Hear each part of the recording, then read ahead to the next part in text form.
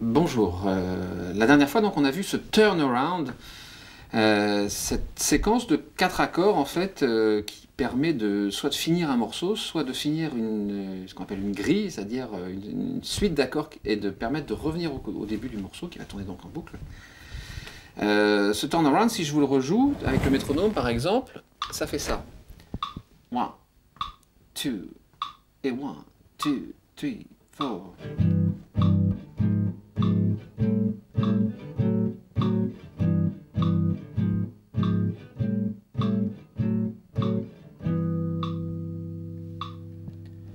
Donc ça on l'a vu.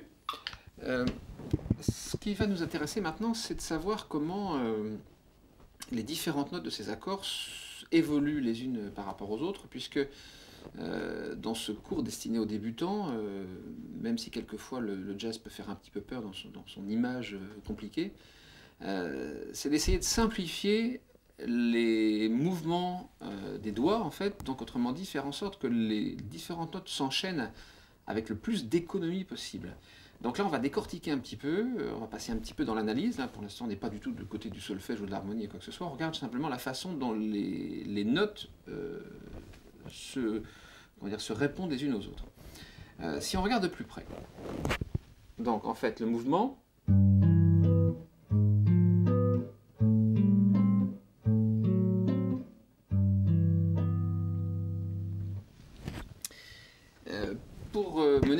cette, enquête, je vais décomposer en fait euh, ce qu'on vient d'entendre en deux groupes. Euh, ce sont des accords à trois sons, donc à chaque fois on entend trois notes. Euh, on va mettre d'un côté la note la plus grave, qui est jouée sur la grosse corde, qu'on va appeler la note de basse, d'un côté, et on va examiner comment cette note de basse progresse. Et puis de l'autre côté, on va examiner comment progressent ces deux autres notes ensemble. si je commence par la note de basse, donc ça fait quelque chose comme ça.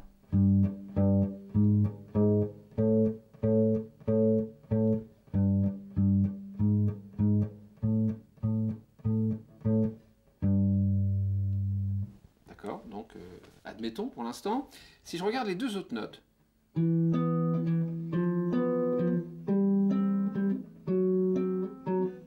si, je, joue les, cordes ensemble,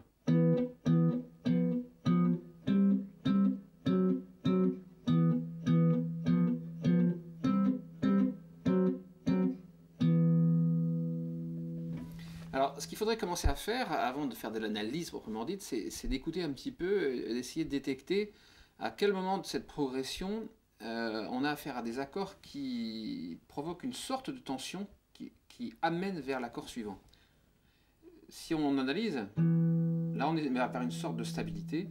Par contre, on a affaire à un accord dynamique, c'est-à-dire qu'il entraîne ce qui suit, qui est assez stable, et de nouveau le quatrième provoque ce retour qu'on va appeler une résolution.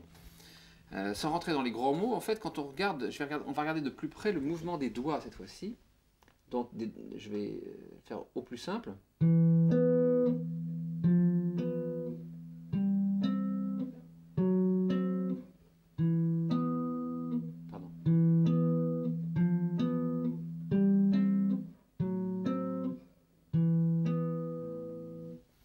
Donc, pourrait étudier le, mouvement de chaque note sur chaque doigt, peu importe, c'est un petit peu trop tôt.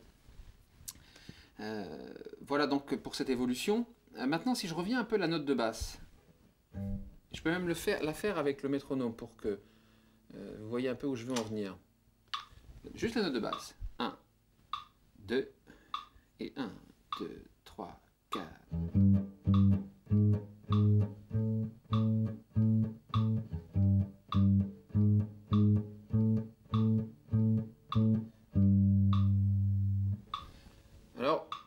C'est pas mal. Euh, c'est-à-dire, euh, cette ligne de basse, quand on va jouer en groupe, va être éventuellement jouée par une, contrebasse, hein, puis donc la guitare va garder que, les notes les plus aiguës. Euh, ça peut, par contre, être un petit peu frustrant parce que ici, on a l'impression d'un mouvement, et puis là, on reste un petit peu comme bloqué. Si on regardait cette sensation de mouvement, on pourrait éventuellement remplacer ce qu'on vient d'entendre par ça. Je mets le métronome pour que ça vous cause. 1, 2, 1, 2, 3, 4.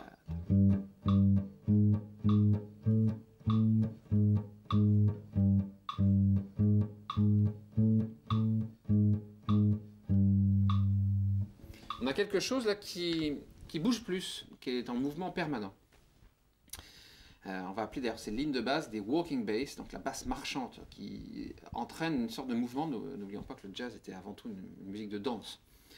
Euh, je vais me donner ce cahier des charges, c'est-à-dire que je vais faire en sorte que pour les, deux notes euh, sur les cordes aiguës, je ne change rien, à part éventuellement une position de doigt, pour, mais en, en, tout cas au niveau des notes jouées, des sons joués, je ne vais rien changer.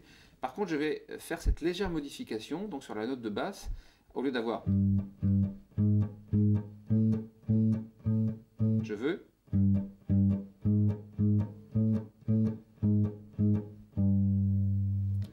ce cahier des charges. Je regarde ce que ça donne. Donc premier accord, je ne change rien, tout va bien. Deuxième accord, je ne change rien. Troisième accord, je ne change rien. Par contre, je veux cette note de basse et ces deux notes-là. Ces deux notes-là, en fait, je vais les jouer, j'ai simplement changé de doigt. Je vais jouer avec l'annulaire et le petit doigt et je vais pouvoir avoir ma note de basse. Donc l'ensemble va donner...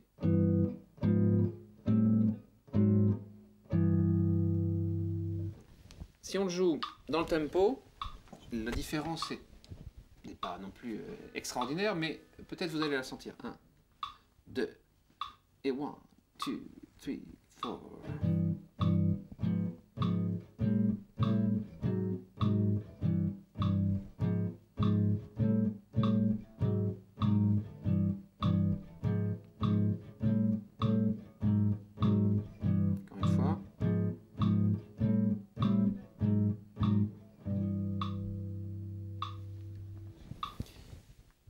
Voilà, donc euh, essayez de, tourner ça. Donc, euh,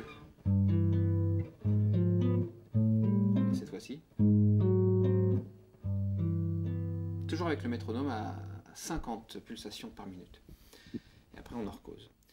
Euh, cette simple note de basse que l'on vient de modifier, puisqu'il y, a une seule note de basse qui change dans, dans, toute, dans toutes ces petites modifications qu'on vient de faire intervenir, nous entraîne euh, dans ce qu'on appelle en jazz les substitutions. C'est-à-dire qu'en fait, on avait un accord qu'on avait nommé reset, qu'on vient transformer par un autre en changeant juste une note. Donc on dit qu'on substitue cet accord au précédent. Mais pour l'instant, on va jouer, on se préoccupera de la théorie ultérieurement. Bon courage.